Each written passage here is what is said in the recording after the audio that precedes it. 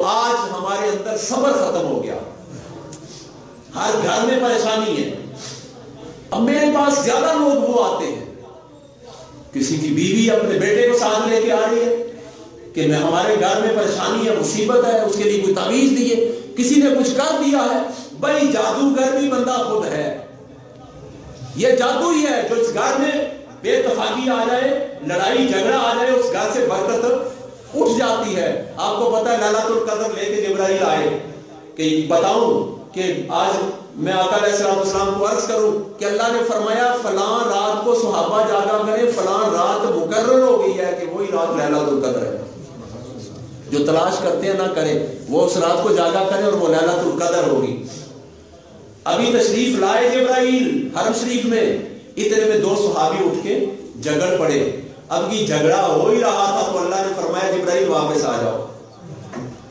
अर्ज़ की, या अल्लाह, क्यों वापस आ जाऊँ? फरमाया, जहाँ लड़ाई हो जाए, वहाँ खैर नहीं। खैर को वापस बुला लिया। आका बाहर निकले।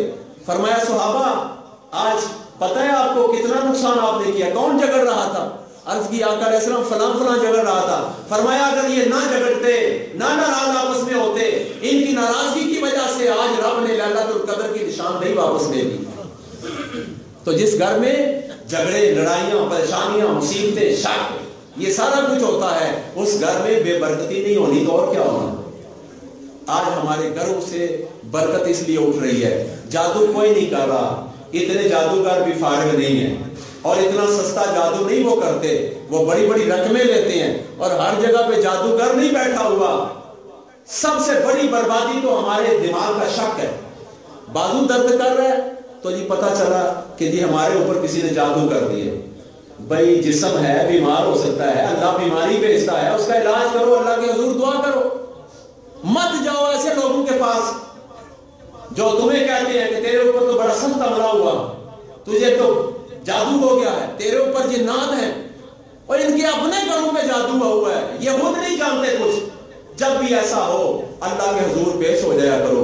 मदीने की तरफ़ चेहरा कर लिया करो। आका का वसीला थाम लिया करो। अल्लाह से रो के दुआ किया करो। यकीनन उसी वक्त अल्लाह ताला खैर बरकत उसी वक्त नाजल कर देगा